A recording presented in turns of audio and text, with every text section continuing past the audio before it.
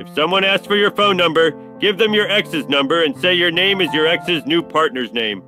When they call, they might think there's cheating going on. Unethical life hacks.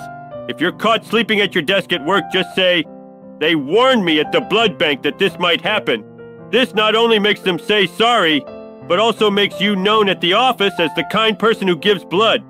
When you press down on a memory foam pillow and let out a fart as it expands back to its shape, the pillow absorbs the fart smell for around five minutes. So when someone lies down on it, the fart particles get released again around their head. If you don't have much money for a fancy wedding ring, you can visit a pawn shop and buy an old ring there.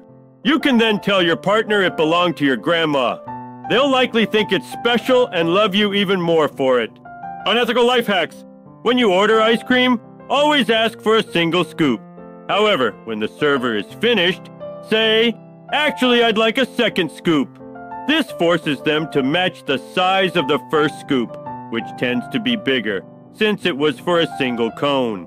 When there are ads for new restaurants, they usually give out coupons for getting one meal and getting another one free. Let your coworkers know you're getting lunch from there and ask if they want anything. Use the coupons to get two meals for the price of one and keep the extra money. Keep the business cards of people you don't like. If you accidentally bump into a parked car, just write sorry on the back of the card and leave it on the windshield. Unethical life hacks. If someone is taking too long in the shower, turn the hot water on in another room. They'll think they used up all the hot water and rush to finish.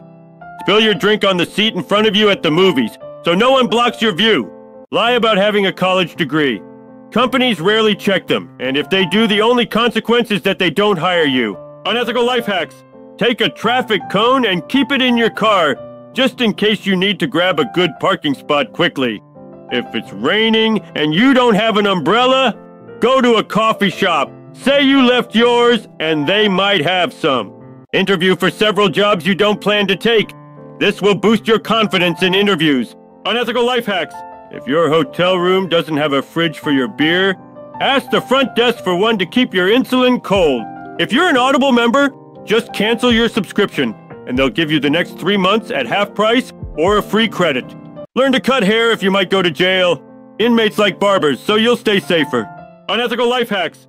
Want to copy someone else's essay? Just paste it into a plagiarism checker and swap out words until it looks original. If you want to look through someone's desk without getting caught, hold an empty stapler while you do it.